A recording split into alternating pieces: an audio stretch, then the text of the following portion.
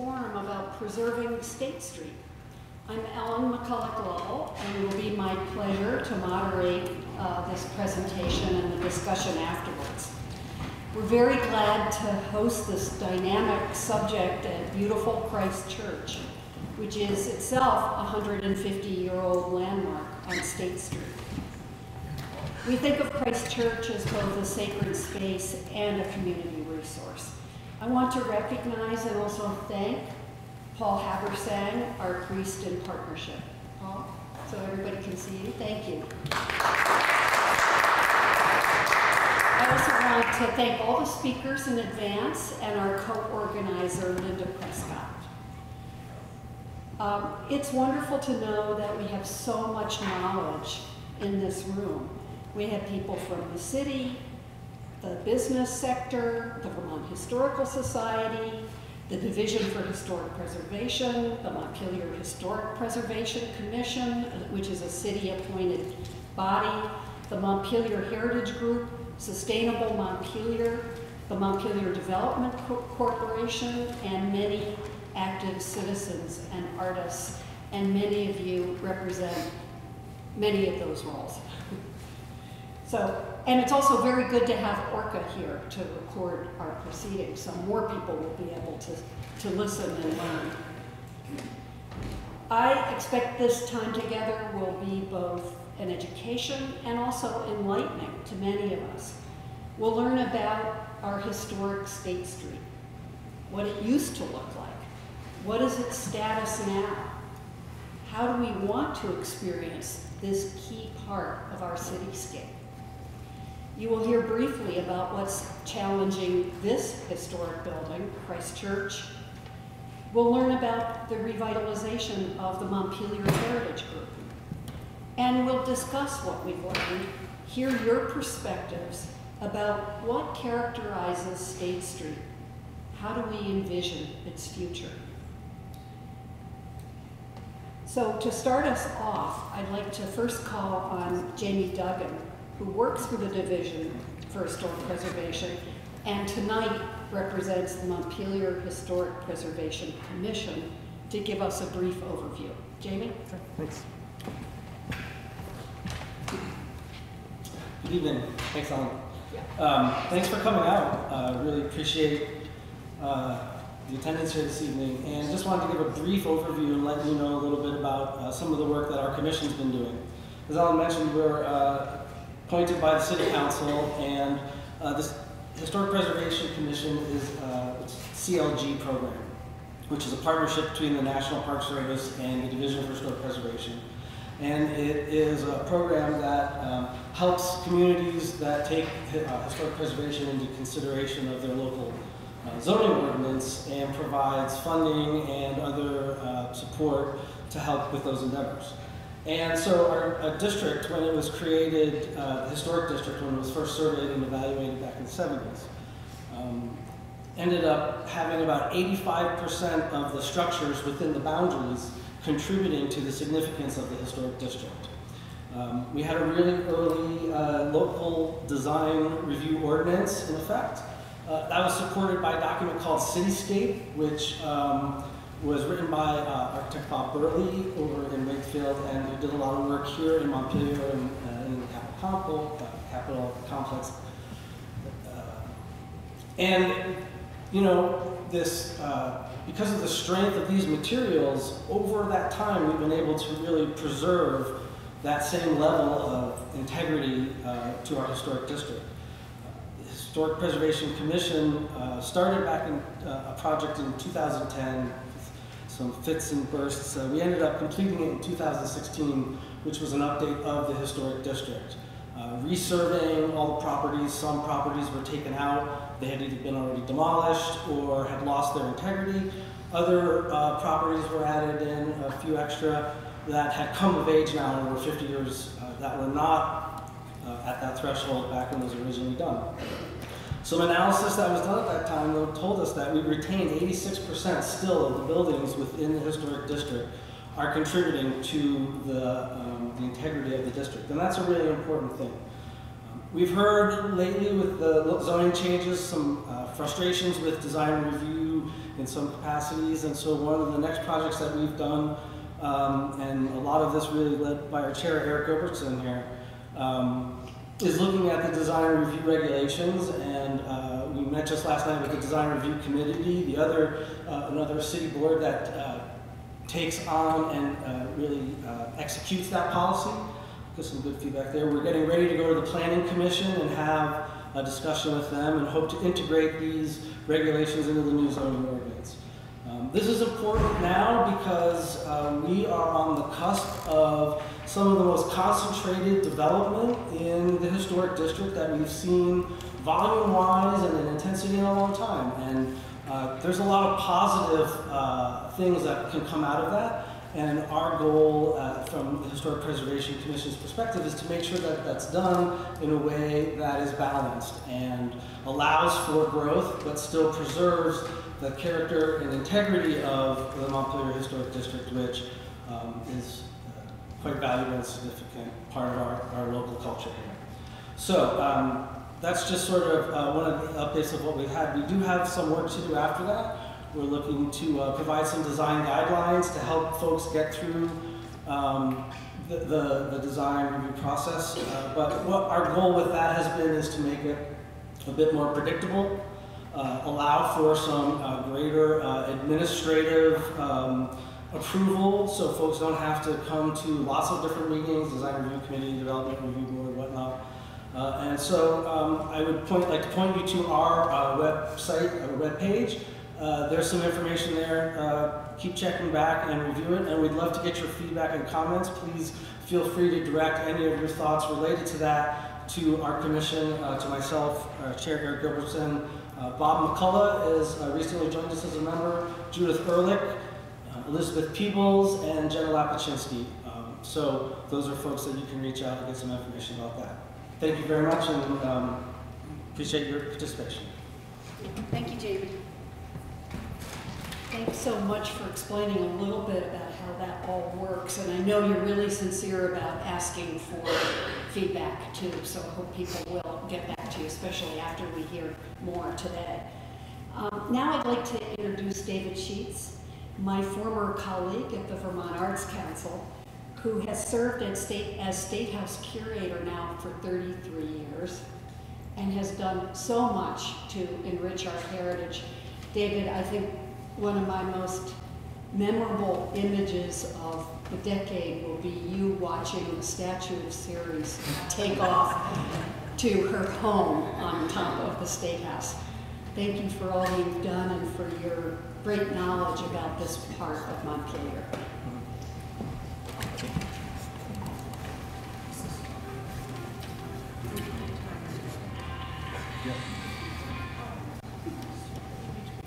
Thank you, Helen.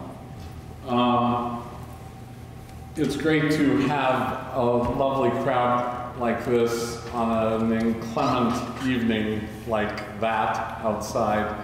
And we're going to keep this uh, as brief as possible. That's why Helen uh, mentioned the time limits for each of the speakers tonight.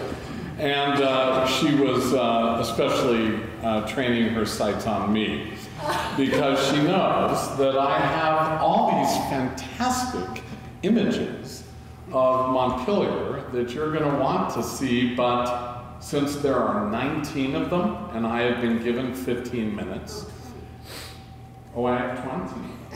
Oh, okay. So that's about a minute per image. I told you fifteen, so. Okay, good, good, good. This is this will make it a little easier to achieve. Uh, what I want to do, frankly, is open it up to the crowd because we have resources in this group, um, not just onlookers. I see so many people here who know a lot about Montpelier's past, and I hope you'll chime in as we look at these images together to get a sense of what historic State Street was like particularly back in the 19th century when it really took shape. Um, the big event in the development of State Street, of course, started with the State House. And the original State House Excuse me, too loud. Pardon me? Too loud. Too loud. Okay, sorry. Um, The microphone will be all right. Okay, is it better now? Okay.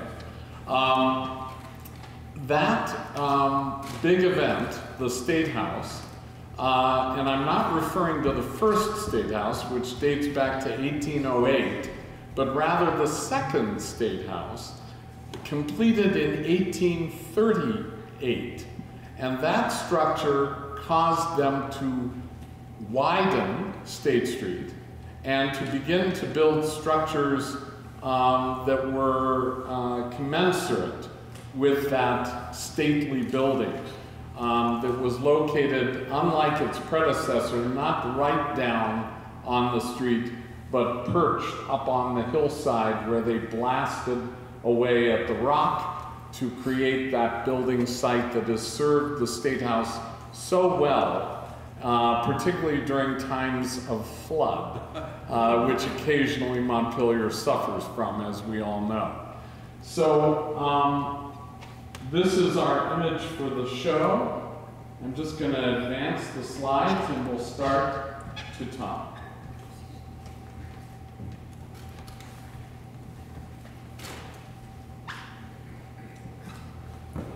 Okay. There we go. Oops. Too fast. So we start with an earl, a fairly early image. This, um, and I want to thank first of all Paul Carnahan, who just came in, um, the longtime librarian of the Vermont Historical Society. Paul's, it all started uh, when I wanted to put together a few slides with naturally his book. And I hope you all earn, you own copies of Paul's book um, available in bookstores around the town still to this day, I believe. At least you'll find a copy at the State House. So um, this is the early Pavilion Hotel, which, as many of you may know, was developed at the very time that the State House was built in Montpelier.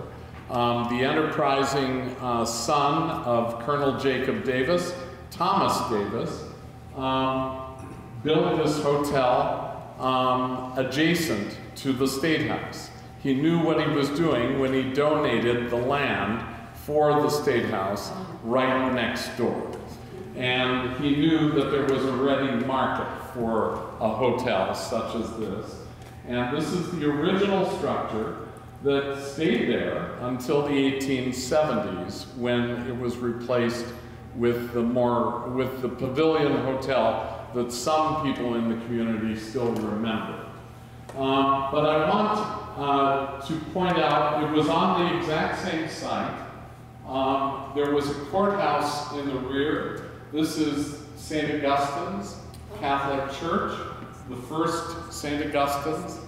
And right over here is what we can identify as maybe best known to the community still as the thrush. So this is the thrush on its original site, lined up with the Pavilion Hotel and other structures uh, in the rear, where the parking areas are today, adjacent to the State House. But when this photograph was taken, I'm pretty confident the 1859 State House had been built.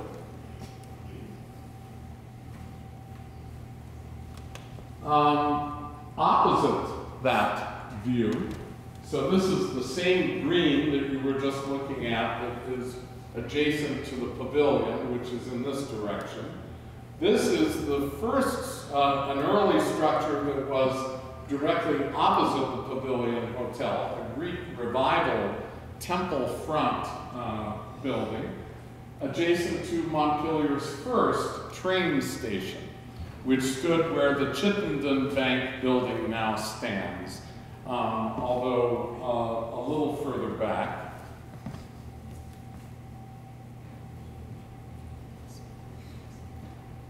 God, having trouble looking at the here we go.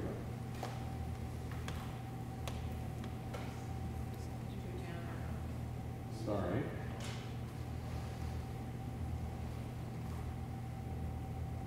I'm not sure why.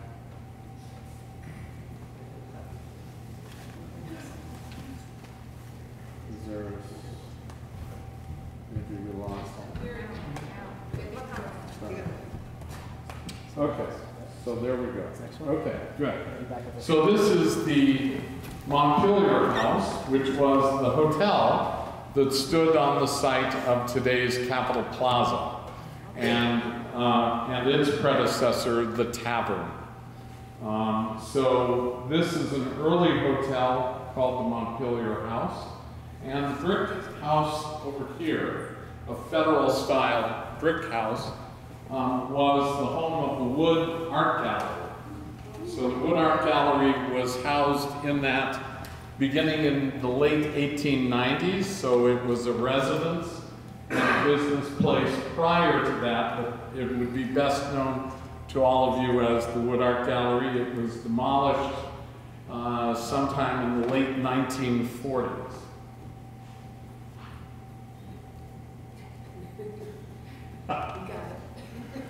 Okay, it's getting interesting here. Anybody know where on State Street we are at this point? Do you see any recognizable? Yes. So, exactly. The, the one big recognizable feature here is this big column, which is the portico of the Washington County Courthouse. So if you know that's the courthouse, then you know what State Street looks like going in this direction toward the pavilion. So the pavilion is somewhere lost in the trees here. Um, these two structures would ultimately be demolished to build a late 19th century post office that some people in the community still remember. The big rusticated granite uh, post office would have been built where this portico uh, uh, Grecian building and the federal style house next to it. Actually, both of those buildings were moved. They weren't. Oh, they were moved? They were moved. So The Steve, second, the second one with the columns is now 28 East State Street. And the one. 28 State 28, Street. They took the columns off the front and did another gable on the front. Oh, And the building. bet- no portico The anymore. building between that one and the courthouse, no, coming back, coming back this way. This. That, that building was moved up onto East State Street and that, East- it's either 34 or 36 is an apartment building. It looks, it still looks that way. Right, so that's on East State Street. East State Street. Fabulous. I did not know this. Okay. Put them on logs and roll them up the hill with horses. and Yeah, yeah. So this has to predate the 1890s uh, post office that would have been built on this site. That's all we can say. So this was probably taken in the 1870s or 80s, Paul, would you say? 70s or 80s, maybe? Before the post office was built on that, on that site. Um, o- opposite it, we can't see a lot about what's going on here, but we're getting into the, obviously, the Christ Church neighborhood. Um, and the buildings that flanked it.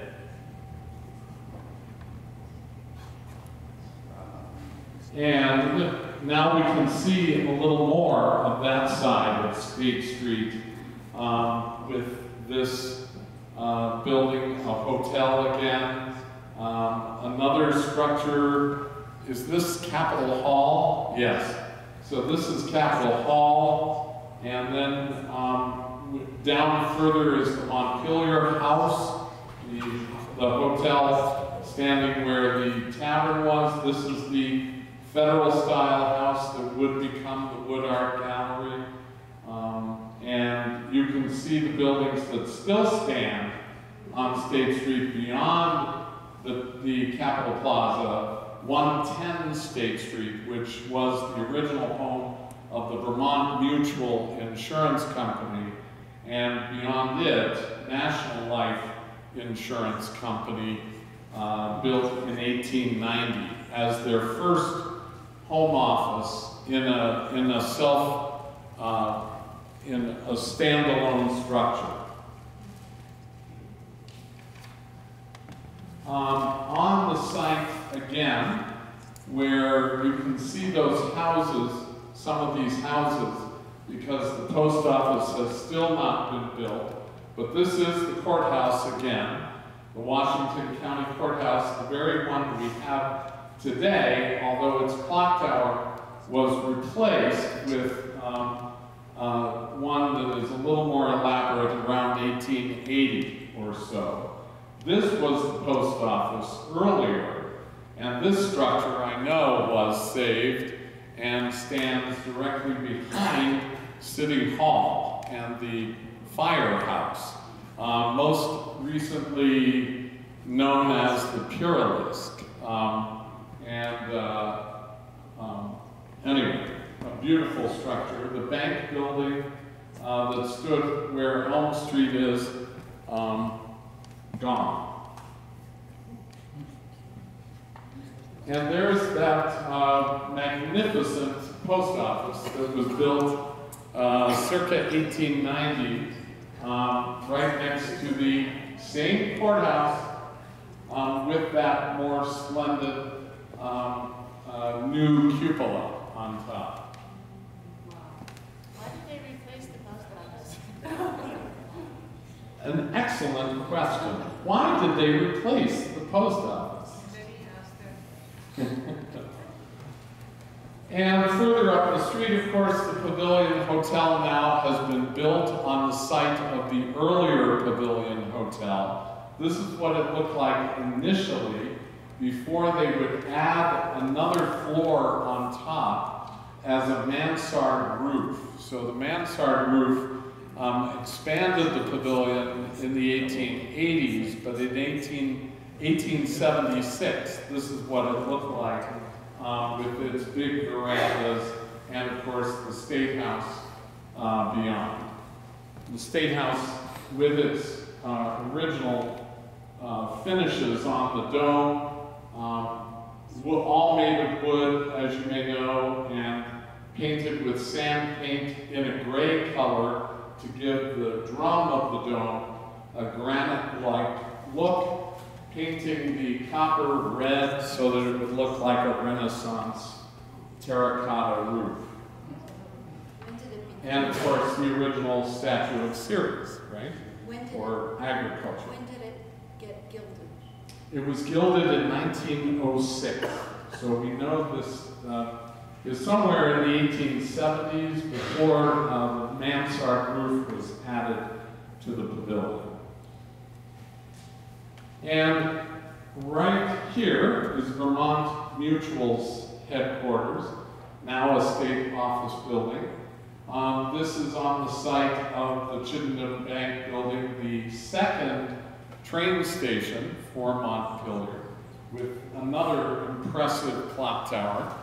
Um, there's a magnificent photograph um, that you guys, I, I think, have showing a record, a wrecking ball, not so magnificent, uh, but violent, um, showing a wrecking ball taking this clock tower off as they demolished the train station back in the 1960s. And this is the rear of that train station, um, where you can see the platform, the locomotive. Um, we still, this is all gone, of course, all this fanciful uh, Victorian uh, uh, splendor. Beyond, you can just see the parapet of the old National Life Building, which is currently the uh, Agency of Agriculture. And uh, you can also see the cupola on top of the baggage handling building, which also still stands. So this is still there, that is still there, but this is long gone.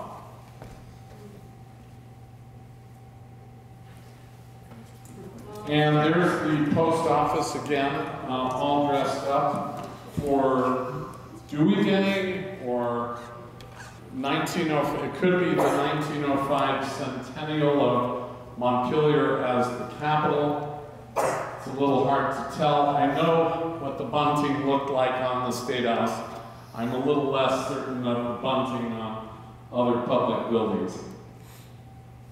And this is a great view because here you can see um, the Vermont Federal Building is, for lack of a better term, um, this is the brick house that still stands on State Street. This is where the Pavilion Hotel was, and right next to it, this is the Thrush.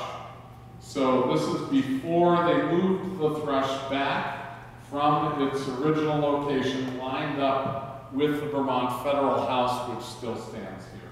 And happily, of course, the Thrush is still with us. And a wonderful photograph that Paul sent me of uh, downtown Montpelier, right at the junction of State and Main Streets. Um, obviously, some uh, road work going on here in the, in the middle of the action, but it just shows the incredible variety of architectural styles in the heart of the downtown of Montpelier. Um, all of these Italianate facades, as as well as other uh, earlier. This is a federal style building at the corner that uh, was essentially a, very similar building to what we still have on this side of State Street. Um, how, how do we refer to that building? Um, I never know what to call it. Cool Jewels, okay? So Cool Jewels is in the lower part of this brick building, and that's among the oldest surviving buildings in the blocks of the downtown of Montpelier to this day. This building would eventually be demolished, and the bank building that is on the corner of State and Main on that block would be built. But every single one of the facades that you see here, until we get to the post office, all of that is still here.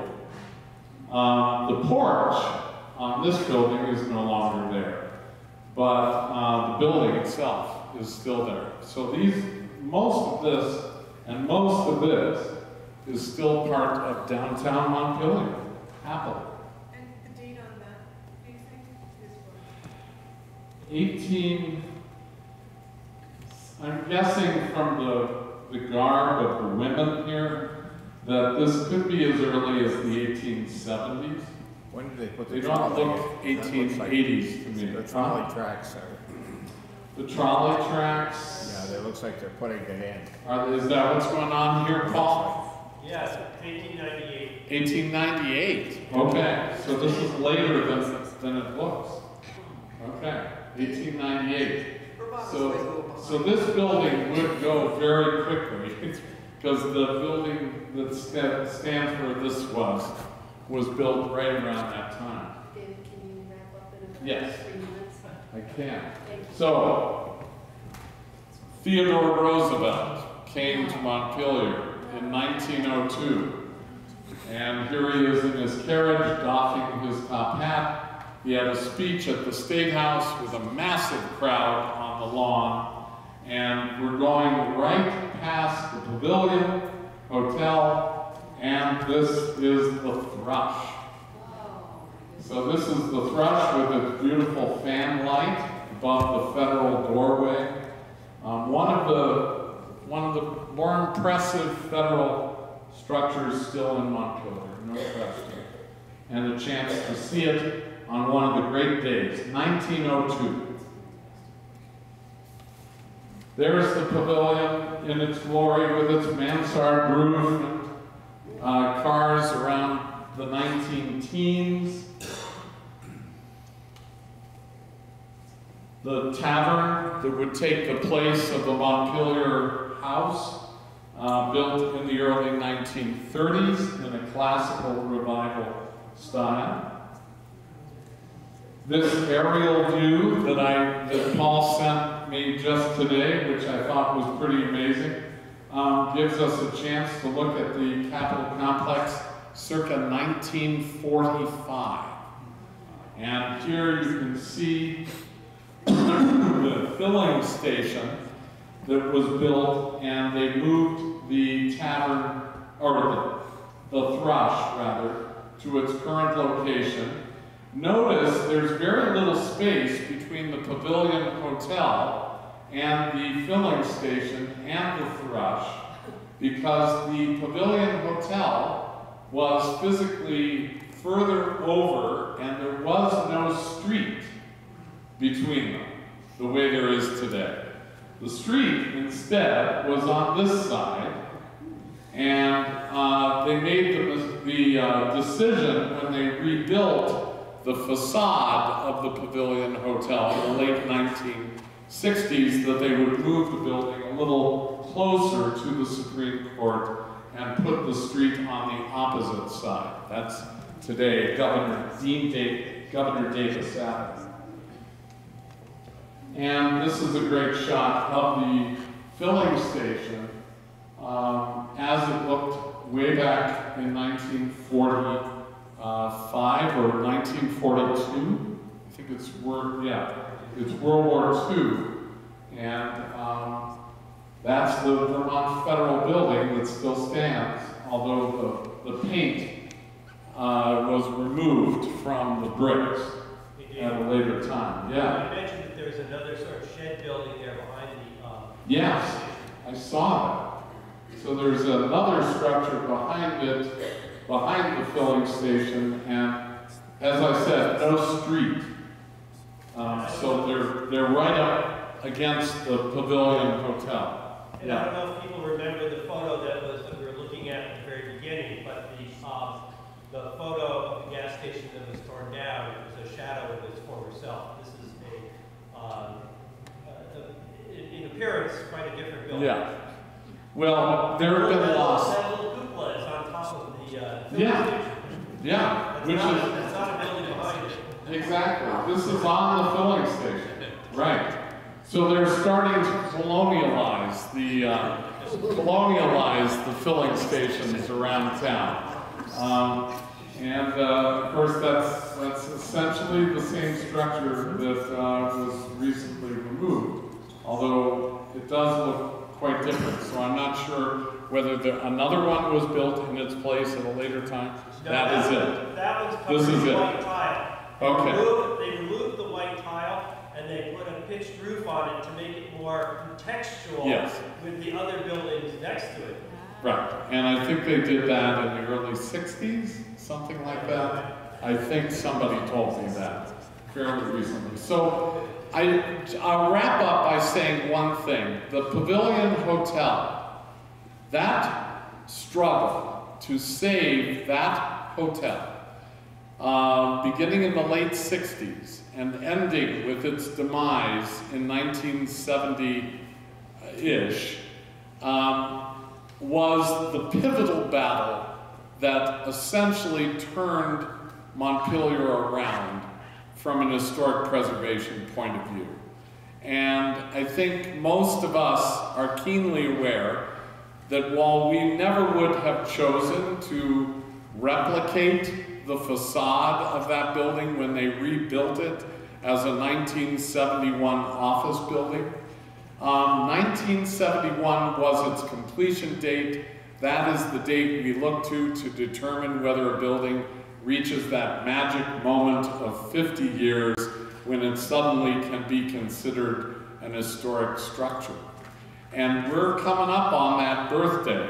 It's soon to be regarded as an historic building itself and a monument, I might add, to the preservation movement in Vermont. It was the turning point, essentially, and a lot of good things began to happen in Montpelier when they lost the battle to save the hotel, but somehow they managed to create a hybrid state office building that was a unique uh, opportunity and financially it was made to work by the Pizzagalli Construction Company. And we're going to possibly have a program devoted exclusively to that soon um, as we gather more and more information from people who are still alive, like Bob Burley, the architect who was so involved in that. And I see in the, in the rear here Muffy Conlon, who of course uh, uh, was married to Tom Conlon, who led the, the struggle to try to save the pavilion. Anyway, those struggles are what inform our desire to preserve Montpelier's past going forward. And I would submit we're at another critical point where a lot is going on in this vibrant town. And happily, I think many of the people in this audience must agree that historic preservation has, has played a leading role in making this community the community that it is today.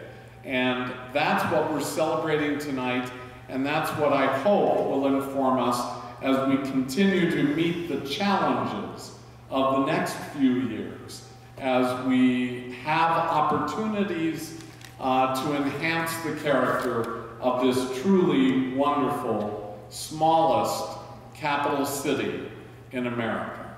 Thank you.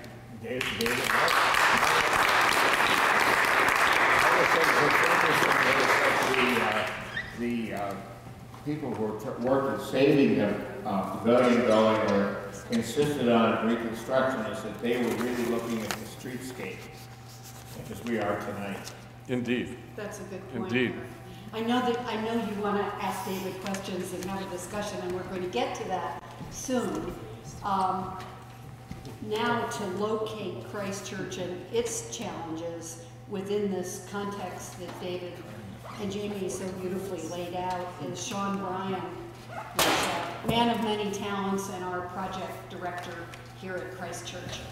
All right, um, back in 2010, we started to begin to assess, uh, the needs of this building in a serious way, and we hired a local character, uh, Jamie Duggan, to do some uh, investigative work for us, back before he became a state employee.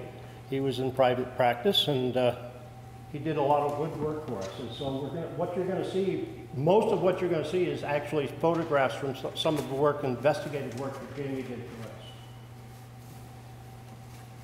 for us. Um, This gives you a detail of the flash. I'm sort of gonna work from the top of the bell tower down. So here's your, here's your, uh, the crenellations at the top of the bell tower. That's a built-up roof. You can see the flashing is coming off the, uh, stonework there. Water is infiltrating into the building through that, uh, through those gaps in the flashing. That's a built-up roof. The built-up roof has got some, some, some problems as well. It's on a concrete deck, but there are some places where that, uh, that roof is also in poor repair. The flashing obviously is in fairly poor repair, so, uh, part of our project to restore this building and to get it back into a, a, a reasonable condition is to replace the flashing and that roof deck on top of the bell tower. Most of what you're going to see here tonight from me is probably something that, unless you're into stonemasonry and mortar and stuff like that, probably isn't going to be of, of a real interest to you, but it really is going to highlight what the issues are for this building in terms of restoration. Uh, You'll notice here, it may be a little tough to see, but there's holes and cracks in the mortar all over this face, face of the building here. What happens is when it rains, wind blows the rain into those cracks in the mortar, and then in the winter, that moisture begins to freeze, and the next thing you know, we have what we call frost jacking, which moves not only the stones, but also pops the mortar out of those joints. So it's a, you know, it's, it's a self-perpetuating problem in that it just gets worse and worse. The more water, the more the joints open up, the more water gets in, the more the water begins to frost jack as we go through the freeze and thaw cycles here in, uh, in Vermont. Um, and we end up actually moving stones in the facade of the building. We also have a fair amount of deterioration in the woodwork up on the louvers of this, uh, of the bell tower. So you can see the, the, the rot in the uh, woodwork there. And again, you'll notice that there's cracks in the mortar all around there. So the water's not only, uh, the, the wood is not only rotting, but also water's getting in behind those louvers. You can see again the, the effect of that. These are uh, really deteriorating to the point where they've got to be completely replaced. That's, the- that's an interior view looking to the outside. Again, you can see that the louvers are just completely gone. So um, part of our restoration project, obviously, will be to completely replace all of the louvers and uh, the screening behind there, which keeps the vectors, you know, insects, pigeons, whatever, from getting into the bell tower. All of that needs to be replaced because most of it is in pretty poor condition. Again, another picture, there's, there are windows in the bell tower, uh, fairly narrow uh, windows, and I think you can see there pretty clearly, there's an awful lot of wood rot around the window itself, and a pretty significant crack right here where the mortar is completely gone, another crack here, another crack here where the water is getting into the stonework.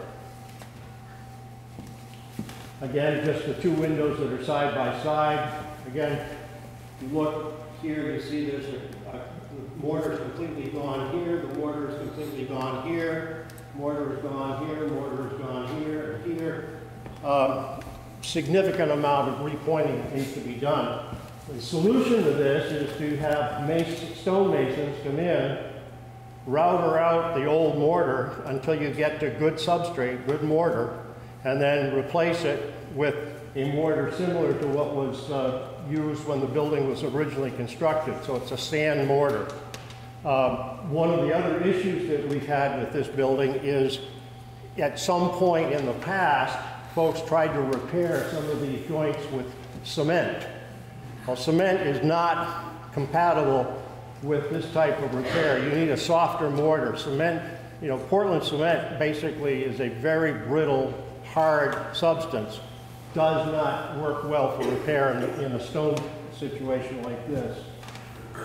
This is the flashing between the roof of this building, the sanctuary, and the bell tower. You can see there's uh, lots of slate pieces that have come down through here.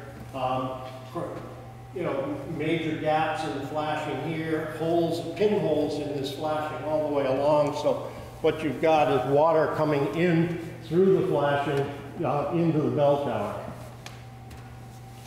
And water is just not a good thing when it's inside your building, whether it's your house or your church.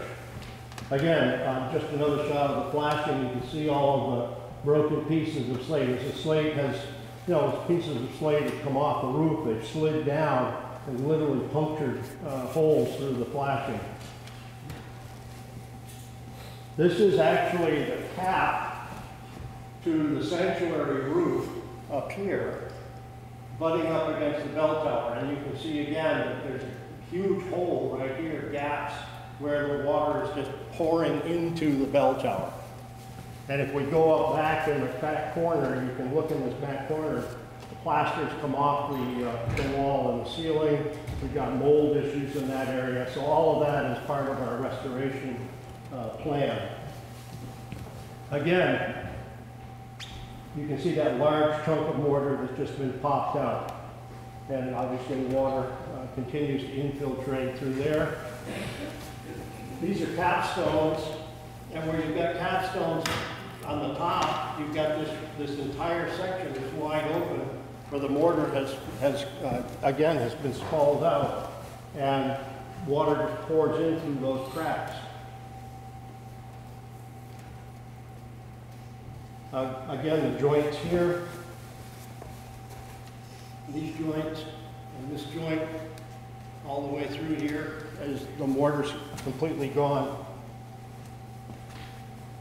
Again, same thing there, you can see this, as I- as I said, this is probably not of a lot of interest to some of you, but, you know, if you're really into stone and mortar, uh, you can see there's uh, pretty significant gaps in that area.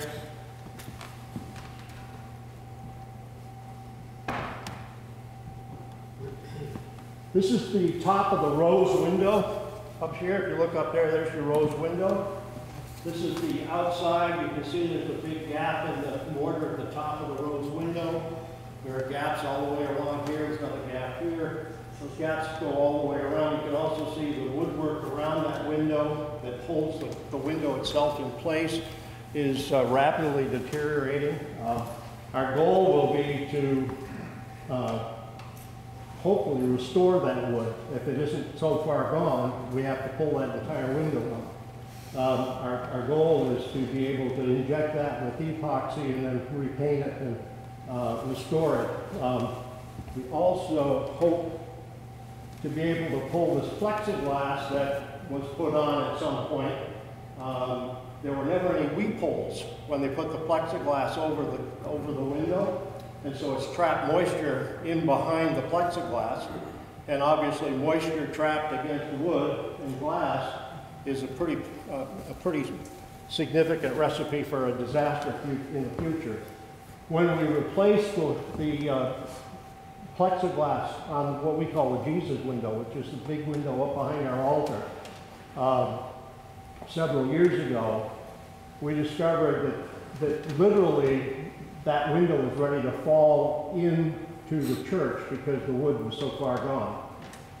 Um, we were able to, again, we were able to restore that wood and save the window, but it, it, it would have been nipped and tucked over the years if, if that, and obviously that would have been a catastrophic failure for us. It's it's a beautiful window and irreplaceable.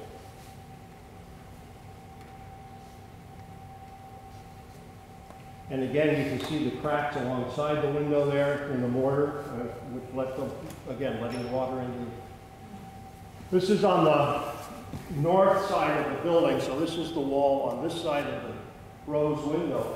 This whole wall, you can see the cracks, it just, the mortar has fallen out in all of these locations, all the way down through. Again, we're fortunate, the wind doesn't tend to come from that direction, so we don't get quite as much water in that area, but it's, it's still work that needs to be uh, done to replace that. Here's a really good example of just how bad this gets. This, this entire section of stone has been frost-jacked in this direction. You can see the gap is quite wide here and right here. So these, these stones literally are gonna have to be reset. So when the masons come in to work on this, those stones will have to be pulled out and then reset. That's a great photograph. That's- Just a very obvious example of uh, what happens with what we call the frost jacking. You can see the whole, uh, the mortar's completely gone. That goes back in about four inches. So the mortar that used to be there is completely gone, been completely eroded away by uh, the action of the frost and free, the freeze and thaw cycle. What happens when you get water into a building? Now we're in the foundation. This is the, one of the main beams that you're sitting on right now that holds the floor. Are we, are we okay? Okay. Uh, And you can see the beam is set into the foundation wall, typical construction, okay? So you, you know, you see whether it's floor joists or whether it's beams, they're set into the wall. And, and then floor joists come off that to the sides. Well, this is so rotted that we've actually had to install, and you can't see them here, but we put in some uh, supplemental posts quite a bit further back because that literally was dropping uh, when, when weight was applied to it, i.e. when we had a full congregation in here. Um, And again, you can see the effects of the, the water on the interior of the building there, completely rotting away that main beam. And also the floor joists. So these are the floor joists that come off that main beam, and you can see along the wall that the, the ends of those floor joists are completely rotted away. And we've had to do some temporary shoring up of those floor joists to keep the floor from dropping uh, as it uh, takes a bearing load. Back some time ago, we, when we were doing some work on the, on the roof, we put a temporary membrane, this is a, a- just a rubber membrane over a portion of the roof until the flashing could be repaired between the sanctuary and the bell tower. Um, that was supposed to be a two, three, four-year repair. It's been there for ten, almost ten years now, so, um, well overdue for replacement. And uh, someday when you're wandering around outside and the weather's a little nicer and it's a sunny day, if you look up at the rose window and you look at about this four o'clock location, and you stand close to the building and look up, you will see that there's a significant bulge in this location, um, where the stones have been frost-jacked away from the interior rubble wall of the church.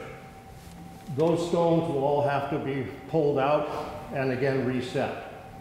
Um, But you can see there's significant gaps here, here, here, here. So again, the water is getting in behind and jacking those, or frost-jacking those stones out. So part of our repair would be where we have those kinds of situations, would be to actually have to pull those stones out and reset them. Now, the challenge with that, and I'll just very briefly go over this, but the challenge of that is notice that these stones are all different sizes and shapes. They're not, you know, they're not all four by fours or six by sixes or eight by eights or whatever you want, whatever you would like to think. So every one of those stones that has to come out has to be cataloged in place and then replaced in exactly the same location or it's not going to work. It's a, it's a puzzle. And one of the challenges is when you pull these out is you also have to make sure that your mortar joints are identical to the joints that were there before or otherwise the stones won't fit. So it's truly uh, work for someone who is really skilled in this kind of restoration work. And that is my story.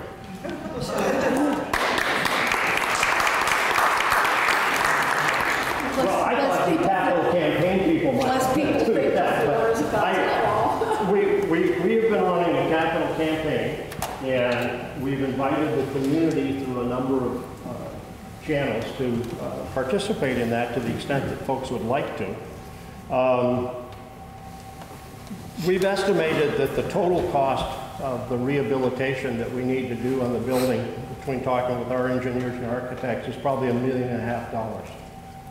Um, The uh, capital campaign has raised in the vicinity from within our congregation alone about, think, a half million. No, six, over 600. And, and with the participation of folks from outside, about $600,000 towards that uh, total restoration goal. But I think the, the, the goal of the campaign was to raise 700 because we just felt that it wasn't going to be possible for us to raise a million and a half all in one go. Um, so, you know, we're, we've been thrilled, I think is the word to use, uh, with the outpouring of support from within our congregation and also uh, from within the community. We've had some very significant contributions from folks in the community for which we're very, very thankful. Um, I don't know. Yes, sir. And is there a possibility you guys could apply for like a historic preservation grant? Have you explored that? We've, we've got a historic preservation grant. It- It's, uh, it's $20,000, um, so it helps, but it doesn't pay the bills. Gotcha. And um, Sharon is, is running the campaign, and why don't you join us up front in a little while? And in case anybody has any specific questions about the campaign. Thank you, Sean. I, I think I stepped on your applause. Um, I know we're, again, eager to get to discussion. I do want to acknowledge Steve Everett, who's uh, an area business person and property owner, and he's just going to do a brief update on the Montpelier Heritage Group. The Montpelier Heritage Group is an independent nonprofit that was created over 40 years ago in the 70s. I can speak a little louder if that's better. There we go. Just put it pointed at your mouth. Okay. Is that better? Right up to your mouth. Close. Oh, okay. Is that better? Okay. Again, the Montpelier Heritage Group is an independent nonprofit organization that was formed over 40 years ago by a number of interested citizens in Montpelier. And their goal was to generate interest in local history and concern for the preservation of Montpelier as a unique place to live and work. Uh, through a number of, of activities, uh, the, they have uh, lobbied the local government and have encouraged independent uh, renovation by property owners. They've sponsored programs and brought in nationally recognized speakers. And they had the, as a lot of people know, they had the uh, ice cream social on the State House lawn with a croquet tournament in the summer in conjunction with a band concert. And again, they put on a number of programs, slideshows, presentations to help people who were interested in renovating their own properties. And again, lobbying on ba- for local, other local organizations uh, to again encourage people to save the, the best part of Montpelier, its historical downtown and related neighborhoods. Does anybody have any questions? The The original group, of course, one of the, uh, the most active members was Margot George. Uh, Anthony Otis was a member. Uh, Since they are no longer, Margaret passed away a few years ago, and Anthony's no longer participating in the organization. So the organization has been dormant for a few years, but there's a lot of interest in reactivating it. Um, I know that Sandy Fitztham, uh, John Russell, Leslie Bomberg, and myself um, would be interested in trying to get, get it going again and being more active in the community, and again, with, with its focus on its original goals. Any questions you might have to the panelists? And also, um, let's hear any of your own pers- perspectives and comments. I thought Jamie uh, posed a really good question, which is, you know, what are the characteristics of State Street that we value, and uh, what would we like to see in the future? Questions, comments? Yes? Um, for David, uh, it's Deb Sachs, at zero one. So uh, thank you for introducing Uh, yourself. I just had a question. When buildings were torn down over the years, approximately how old were the buildings? Um, Were they 100 years old? Were they, did they Yeah. last 100 years? Um, well, the, you know, the post office was not even that. It would have been around 70 years old when it went down. The Pavilion Hotel was um, at the point at which it was uh, taken down in the late 60s. Again, it was only 70, 80 years old at that point. So many times it isn't necessarily the age of the building that is contributing to its demise, as just simply changes in use, changes in use, and changes in um, what people value. And I'm sorry to say that both of those buildings met their demise simply because at that time, the general population of Montpelier was not as aware of the need to save some of its more important structures. That started to change, as I said, with the Pavilion Hotel.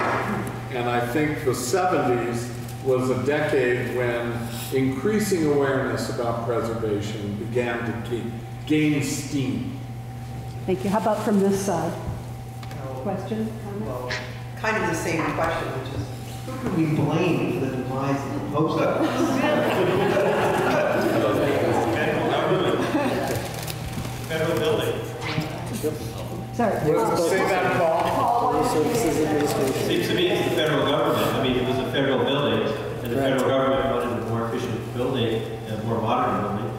I mean, look at the, look at, when you go in every day, you walk by the, uh, the attributes and the, the people who are, uh, editing. so that is a federal government project.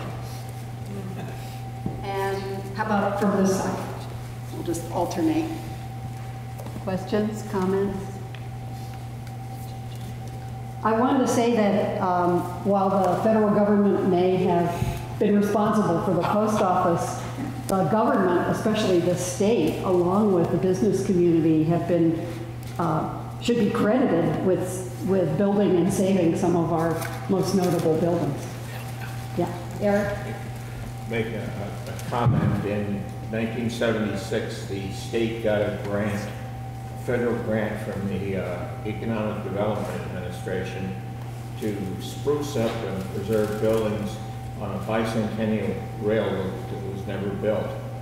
But there are a number of buildings in Montpelier that benefited from that. The uh, uh, railroad station across from Shaw's, uh, the uh, building that used to have a cheese grater on the front, the road shop, all were that the EDA bicentennial grant projects.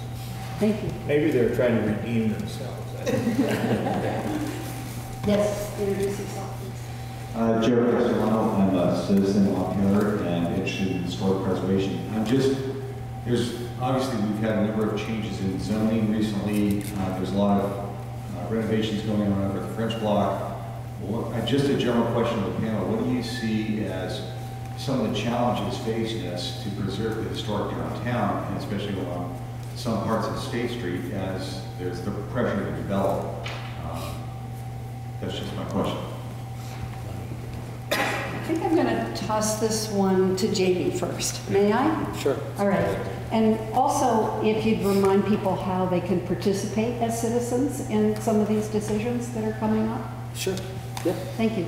Um, I would say the two uh, challenges in particular that I would see are accessibility and making historic buildings accessible. Yep, there you go. uh, um, To the extent possible. um, And also the, some of the issues around flooding and how that impacts um, new infill development within uh, just uh, floor levels and and certain other uh, aspects that um, can make integrating new construction into our historic built environment uh, challenging because it was built at a different time with different standards and codes and as that changes. But, um, but it is possible, it just requires um, uh, some careful consideration. And uh, so uh, there are a number of um, ways people can get involved in helping to direct that. One would be to get involved a little bit in the, uh, in the zoning uh, revision and uh, some of the components of that, uh, looking at the design review process as we've been doing at the Historic Preservation Commission. I know uh, Kevin's over there, he may want to mention about uh, an upcoming grant that's going to look at some streetscape improvements and uh, some other good things that are happening around here to help uh, with that. I don't know if you want to maybe. Kevin? yeah. You want to introduce yourself? Sure, Kevin Casey, Department of Planning and Community Development. We just received a grant, a municipal planning grant from the state. Oh, sure. Well, We just received a municipal planning grant from the state uh, to do a State Street, uh, State Street Streetscape Master Plan.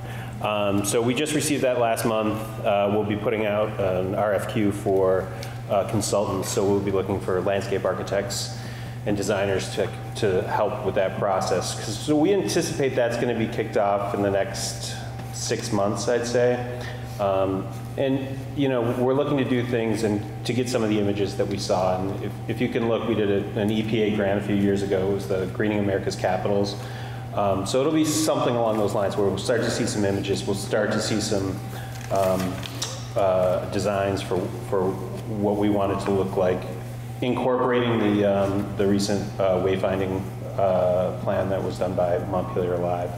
Um, and so we're going to actually really need a lot of public input. That's going to be one of the critical pieces of this, is making sure that there's um, plenty of input. And there are enough people here to actually have a significant impact. So when we put it out, I'll make sure that it gets out to this group and make sure that there's a I was just thinking, we should start a sign-up sheet. That's a great idea, and Let I- you, um, so that people can Yeah. get some more information. I'm not going to start that right now. Or ask somebody to draw the right squares and start it. Thank you, Linda. Um, Did somebody else want to address the Yeah. question about challenges and solutions? Yeah. I, I think we're, we're in a period where it's, it's tricky to know what the challenges are. Uh, because we're no longer in a period like the 1950s and 60s where progress meant you demolished buildings and moved on to the next, you know, great thing, like the federal building that they built back then. Um, we're in a period where everybody kind of agrees that historic preservation is a good thing. But what I think has often happened in the projects that I've been involved in, and I imagine some of my colleagues as well, is that a real preservationist is somebody who cares even when there is something in tension with preservation. that will change it, and you just give in to that tension um, and allow the other good thing to prevail at the expense of the preservation of that resource. And what I mean by that is something, for example, like energy efficiency and how we're losing incrementally the elements that characterize our historic buildings because we think we're doing the right thing by replacing all the windows right then and there. Instead of doing the hard work of determining how to make your house energy efficient in a less aggressive manner. And that takes education, that takes enough caring to go to the great trouble of figuring out problems. Um, we have a lot of problems, and they're not easy to solve, and it's where they become a real problem that is going to require some major work. That we're, that's where a lot of our preservation battles are being lost. Mean by the, the slow increment of change Yeah. without thinking doing about the the easy whole. thing, doing the easy thing, or what you think is the easy thing. Paul, you should introduce yourself. Hi, I'm Paul Carnahan, I'm resident of Montpelier and librarian for Historical Society. Um, I was, uh, since we've got, yeah.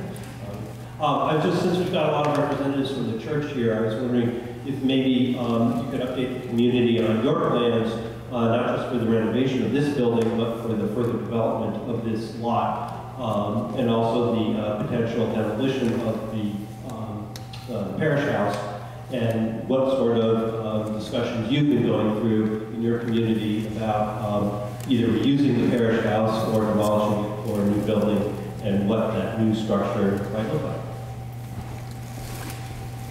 I think that's at least a two-part uh, answer. I think it's a one. A one? We can start with, maybe start with Steve. No, with Sean. Sean, you want to talk about that? Sure. The- Um, We've, we're three years into a process of looking at um, the possibility of doing a affordable housing project. Uh, And that would include the replacement of the parish house with a housing project of some sort. Um, I can't, we, we don't have any designs at this point. Um, Obviously, we're impacted by everything that's going on around us, so until some of that has settled and we have the opportunity to assess what those impacts will be on our ability to construct something, uh, we really, I, I actually asked the architect, do we have anything at this point that would be useful or helpful for this meeting tonight? We really don't. Uh, we would like to think that, that we can come up with a design, working with architects that would be, it'll be different from what you see today, obviously, because what we have today, frankly, uh, was built about 50 years ago and was built on the cheap and has some significant structural deficiencies that um, really make it uninhabitable for any kind of housing project or anything other than what we're using it for today. So, and it's also frankly uh, an energy hog.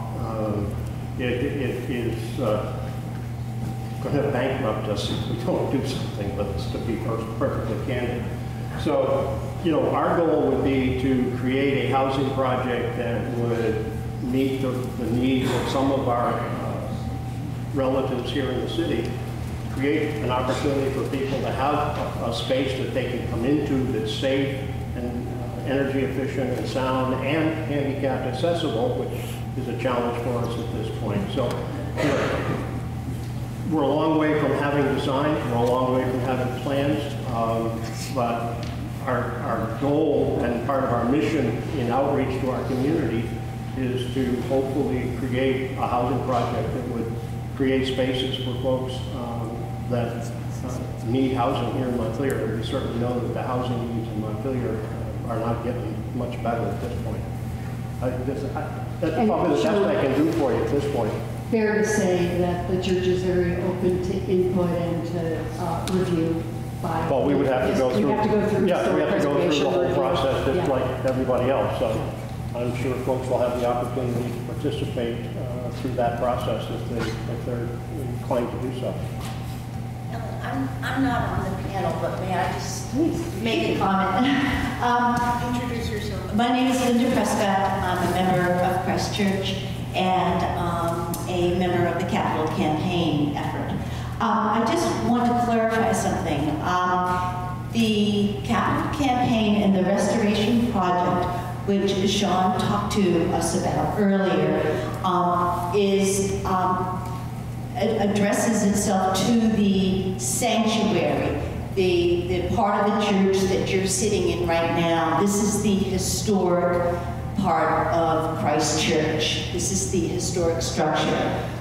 When Sean was talking about the parish hall where we potentially might be having affordable housing, that is not a part of the restoration project.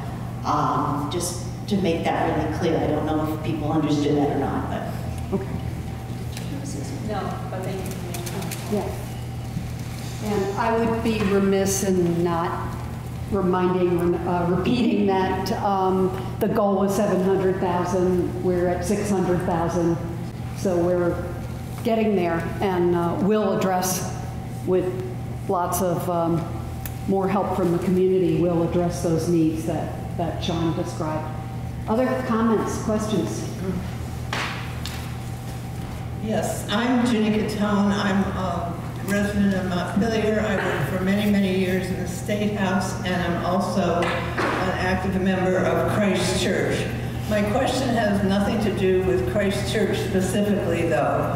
Um, I've been concerned, and I'm not going to express any opinions about the, the possibility or likelihood of construction around us of uh, some, some new edifices.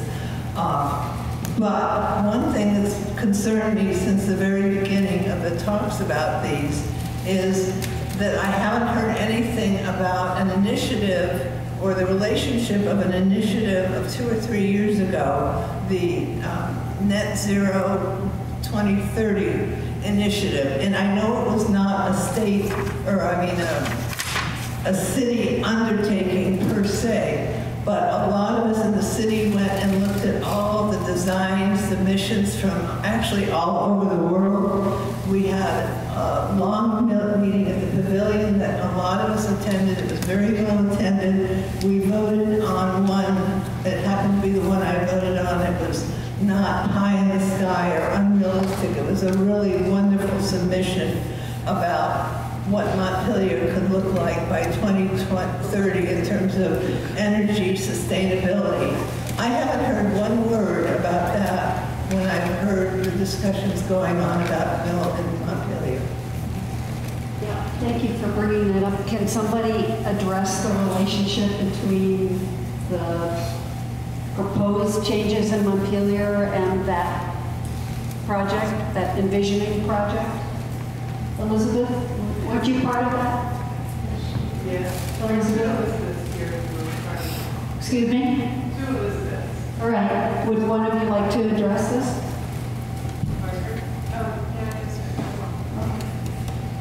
Um, So I'm Elizabeth Parker, and I'm, um, uh, I work with the Sustainable Montpelier Coalition, which came out of uh, Net Zero Vermont. Uh, Deb's here, and uh, Deb and Dan um, birthed this amazing design competition, which I'm sure many of you have seen the, um, the drawings of. And the, as Ginny said, the thing about that was it was an independent effort, and um, it was not, uh, it was not something that has yet to be, well, I guess I could say it's yet to be adopted by the city as a vision for what Montpelier might be.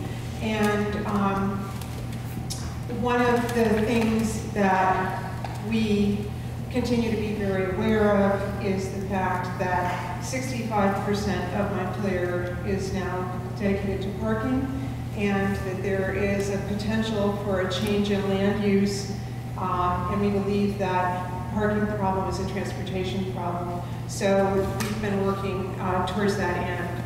And I think that um, it's hard because we, we had all these wonderful visions, and now our job as a community is how do we realize those visions? So I just want to let you know that we're, it- you know, at the Sustainable Montpelier is here on the ground working on those issues.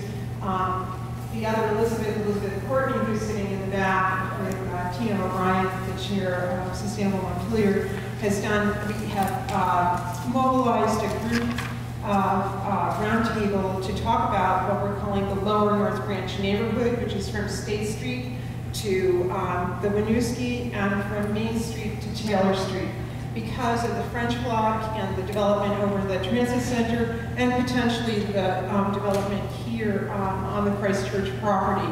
There may be as many as 150 new residents in this neighborhood. So how do we make, how do we have adequate open space? How do we make a backyard for all of those people so that they can really have a place to live and improve the quality of their life here in downtown Montpelier? So there, I'm outlining, you know, transportation, open space, housing. Um, in- there are many issues that come together and um, and I think that we, as a community, need to continue the conversation of historic preservation and how historic preservation is brought forward into, you know, our living future and, and energy efficiency, obviously, all these different things together, so, thank you. Thank you very much, um, Elizabeth. Kevin, I think you wanted to address this Yeah, relationship too, and Sure, Yeah. sure. So just to, just to follow up on that, um, Ginny's original question. Um, Earlier this fall, we applied for a $250,000 FTA, Transit-Oriented Design Planning Grant. FTA is. FTA is Federal Transit Administration. Um, We anticipate we'll find out any time in the next few months. Um, I've been emailing them, but apparently they're closed. Uh, So, and one of the issues is... Not essential, huh? Yeah, exactly, not essential. Um, so I think that actually one of the one of the issues that we're intrigued by about that was to say, not necessarily let's do this, but let's what's the feasibility? Because again and again, the issue comes up and people will say, we'll throw around huge numbers, you know, 10 million, 20, 40, 150 million dollars for, you know, to do something with the rail. We don't know, but the important thing is, is to find out. And that's what the goal of this was. It may come back and say it's just not feasible. But at least we do the study. At least we find out. And that's, that's the, the, the point behind this planning grant, was to answer some of those questions. You know, what is it gonna cost to do the rail sidings? What's it gonna cost to, to make some of these changes? To do remote parking, to do environmental cleanup, all of these issues. And so, um, hopefully we get it. If we don't, we can apply for it again next year. It's a, it's a, it's a great program. Um, but just to, to, to follow up, that, you know, it is an intriguing idea, but like anything, we want to do the planning first. So we'll find out what the answers are and then decide if it's feasible. And if it's feasible, then we go to the next step. But we're not going to go there until, it's, it's a lot of money too. So we have to find out if we get the grant because we can't do it on our. Okay. Thank, thank you, Kevin. And I, I, I think we all heard the invitation from Elizabeth that another opportunity for citizen input and participation is through Sustainable Montpelier. I just want to say we are planning on having uh, a public forum probably in March uh, in which we're going to gather people together again and uh, talk and discuss it. And, and so that would be another good use of the list that's circulating. If people would like to know about a public forum on, on how you're addressing some of these uh, development and preservation issues. Sandy? Am I allowed to ask a question? Yes, please, Um, First, I Hold wanted the to mic make right a up to your super short announcement, which is that the Heritage Group is actively trying to gain new members. There's no membership charge, and there are little brochure pamphlets over there by the uh, refreshments that if you take them, you can take it home and just call or email me. I'm acting as secretary right now. Okay, so here's the thing. Historic preservation was actually radical in the late 60s and early 70s. And I think I'm in this group, but I noticed that most of us are over the age of 35 in this room. and probably most of us remember the early 70s that are in this room.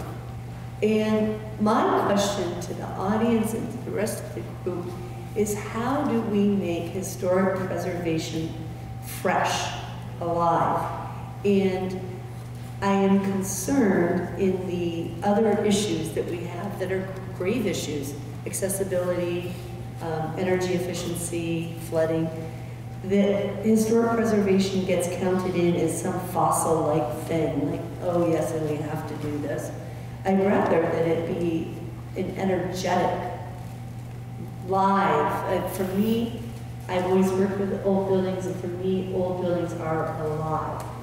It would be so sad to lose that. I don't know how, though, to engage people that are under the age of 40 actively. Right. I don't mean to be ageist, but if somebody is under the age of 40 who would like to address this, how to keep it fresh. Do you want to say something? I'm 43, but yeah. Oh, I don't know. Briefly, please, because we're getting to the. I, I got interested in buildings in Montpelier when I was about 14 or 15, and I started roaming around and looking at things. I think in this day and age, maybe one way though is maybe even more so now is through like visual interest, since people are so interested in taking photographs. I guess that's what I hear about what people do online, and there are really things that are geometrically really stunning about buildings. That might be one thing. Another thing for me was sort of like almost a scavenger hunt kind of like detective aha thing. One thing in particular, I got interested in Shakespeare because we had books around and I was interested in the poetry and the romance of it when I was like 13. And then we went to Montpelier High School and we had plays. One of the plays that we listened to or read was um, a merchant, The Merchant of Venice. And, and I paid attention to the dialogue. I was walking around downtown and I was like, oh, near the river, there's this building called the Rialto Block. There's a Rialto mentioned in that play. Wow, oh, people might have been inspired. There were people from Italy that immigrated to this area. Oh my gosh. So I got really interested. Later, I was in a scenic design class and I copied a painting of, of um, the Rialto Bridge in Italy. So that's just like an example of like scavenger hunt type of mentality. Thank you so much. Yeah. Anybody else want to address it? It sounds like you're telling us to go on Instagram. I don't know. I don't do Instagram.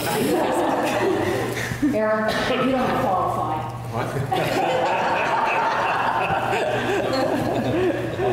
One of the interesting things, I think the goals, I've been in the preservation movement for about 45 years now. And in 1966, which is the date of the major preservation legislation, a couple years before that, there was a book that came out called The Presence of the Past. Yes. And it really set forth, uh, that was in the middle of urban renewal when people were just demolishing everything, uh, nothing old was good.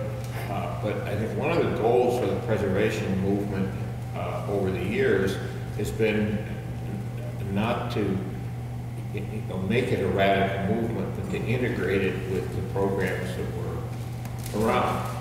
And uh, then the, you know, the National Park Service has its, has its preservation program with grants and all of that. The state has a division for historic preservation. A lot of that has occurred.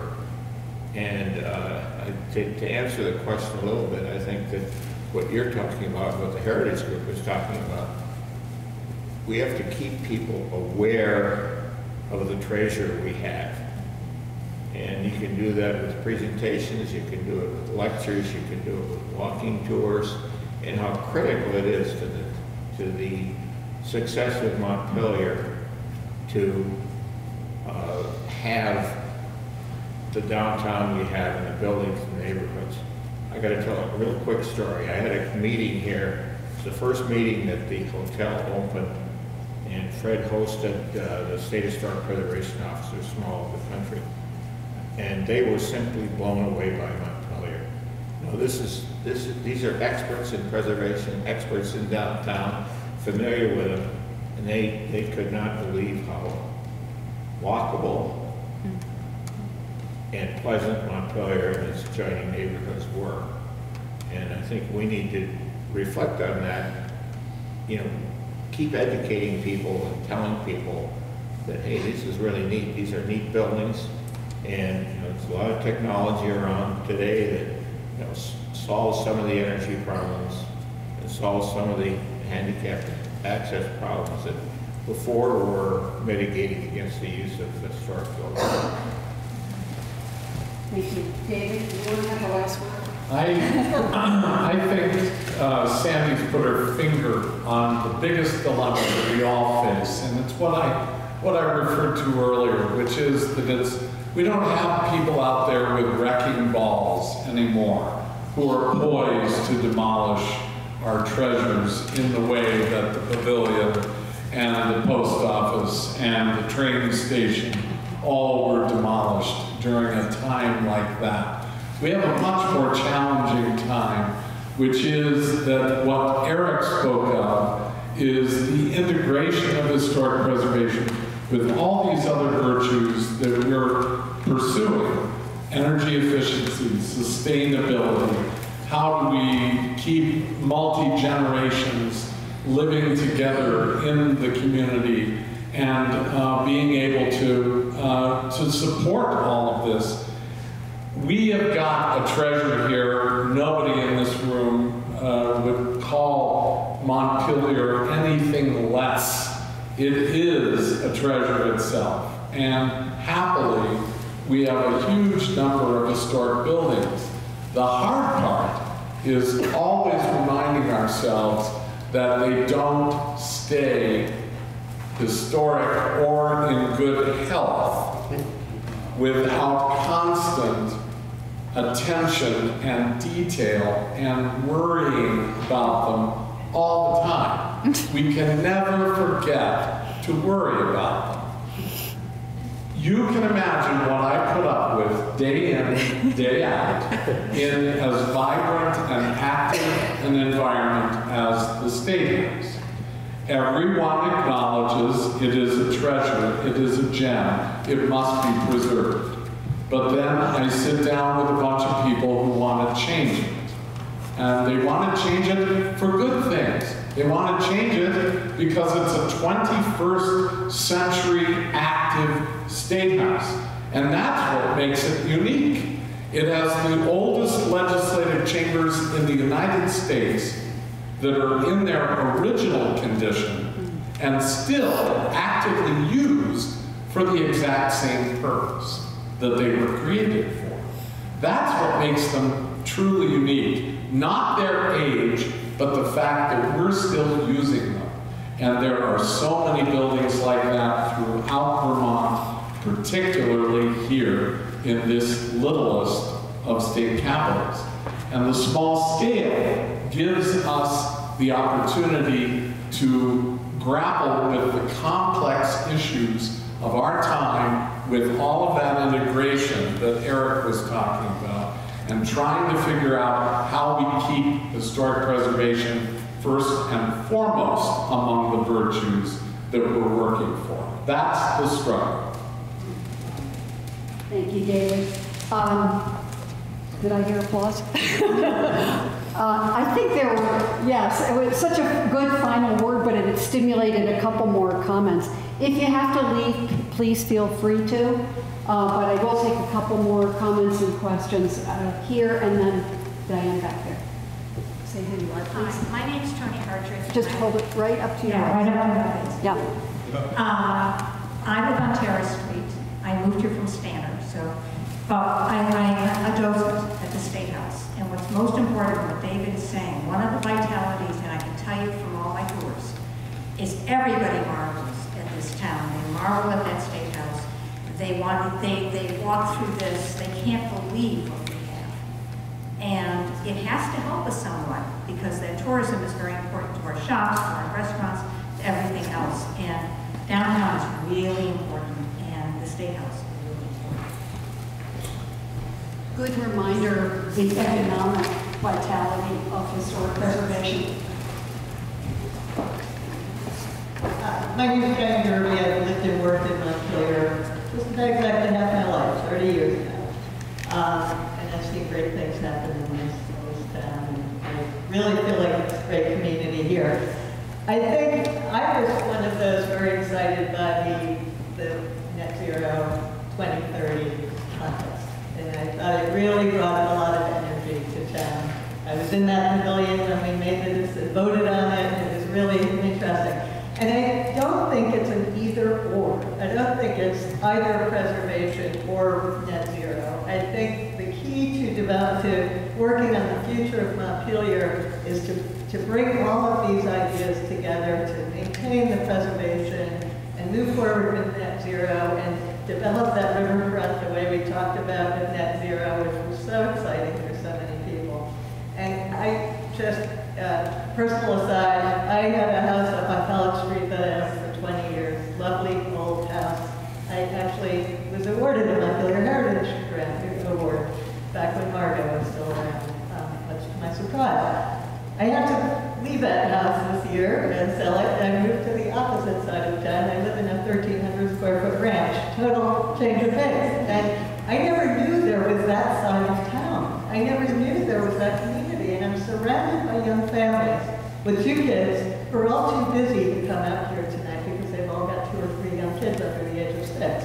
But they're the future of Montpelier. They're not here tonight. And I think what's really key energize people under that 35 age range. And I'm totally game for trying to figure out how we do that and knocking on my neighbors' doors. They don't have the kind of, you know, we all live in ranch colonial houses built in the 60s over there, and it's such a different feel from what I knew up on College Street. But I just don't think it has to be an either or, and I think the future of this town is really going to be about bringing in young people to have these discussions. And, you know, it's really, you know, exciting to see some of the new projects. Kevin, I I was just thinking today, watching the transit center go up. I worked for Jim Jeffords in 2003 when that federal grant was awarded.